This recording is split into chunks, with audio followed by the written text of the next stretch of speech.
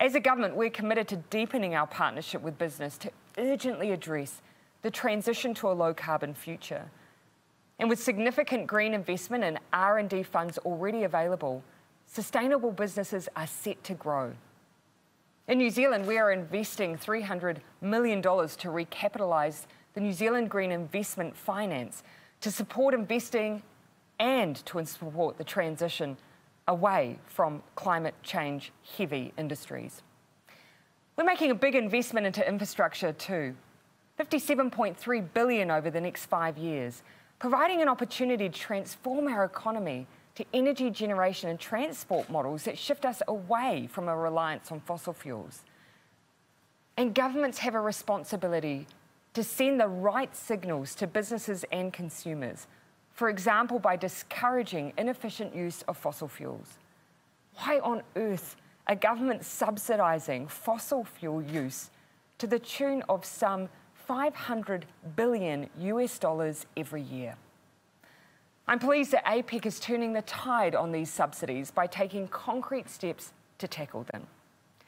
And I'm proud that we are taking practical action in APEC this year to wean the industry off these fossil fuel subsidies, as well as launching new work to identify additional environmental goods and services to help us all tackle the climate change challenge in particular and sustainability generally.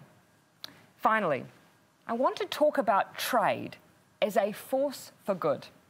Now, as we build back better and get back to business, inclusive and sustainable trade will drive our global economic recovery and future prosperity. Now, with APEC making up 47% of global trade, we need openness in our region to drive global growth. The challenges of the pandemic have been large scale, with the biggest economic contraction in 75 years. 81 million jobs have been lost across the region. The fragility of supply chains have been exposed, with some considering reshoring. The temptation to retreat into protectionism is clear. Right from the start of the pandemic, New Zealand worked with other APEC economies to keep markets open. We worked to maintain trade in essential goods by unilaterally suspending tariffs on medical and PPE related goods. And now we have done the same for vaccine related goods. We are working to enhance the trade architecture that underpins New Zealand's export economy. And as I said earlier, I was proud to announce agreement in principle on a free trade agreement with the United Kingdom last month that creates new opportunities for our businesses.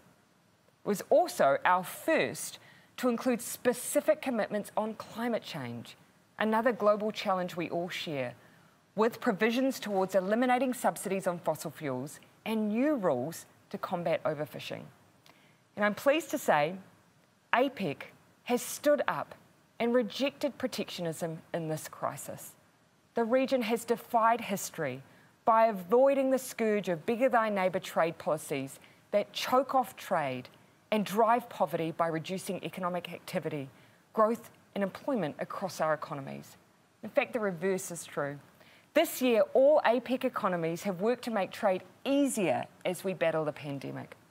Most have introduced paperless trading to get goods across borders more easily that save money and time for all businesses. We also secured agreement to accelerate border clearance procedures. And like us, many APEC members have also cut tariffs on vaccines and other goods to fight the pandemic.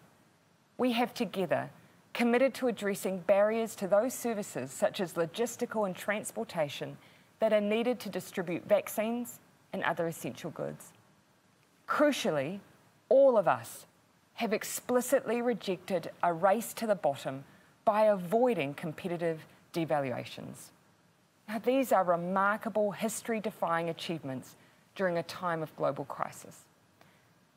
It's been an honour to reflect with you on a tough year as we look to the future and work hard to generate future opportunities for partnership, whatever that future may hold. I look forward to seeing the outcome of this very important conference and I look forward to our continued work together. Nō reira, tēnā koutou, tēnā koutou, tēnā koutou katoa.